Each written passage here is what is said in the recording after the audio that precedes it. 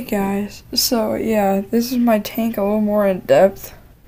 So, if you look here, Jesse's, or Echo's up. Echo's the baby. She loves broccoli. See the one in the brown show? She's a, oh.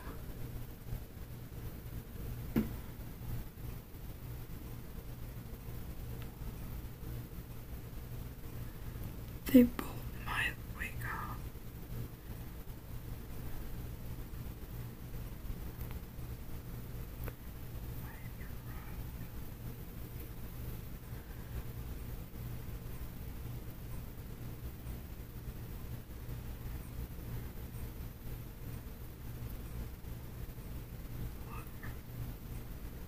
Rise and shine.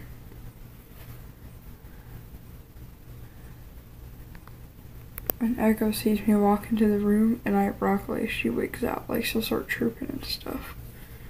She's really happy about her broccoli, I guess.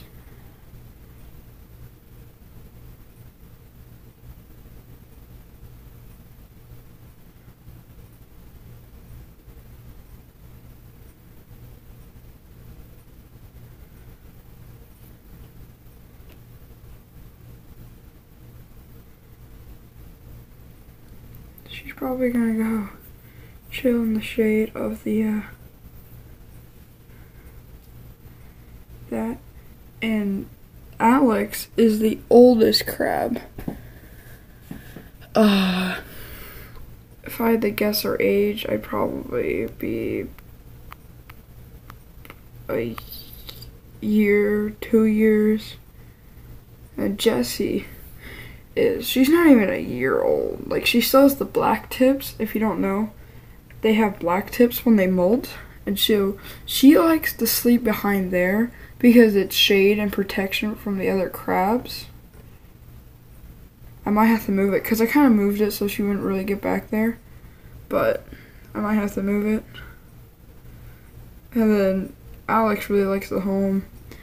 And right now, what's really weird about her is she has enough digging room but I think she's wanting the surface mulch for some reason. I'm not sure.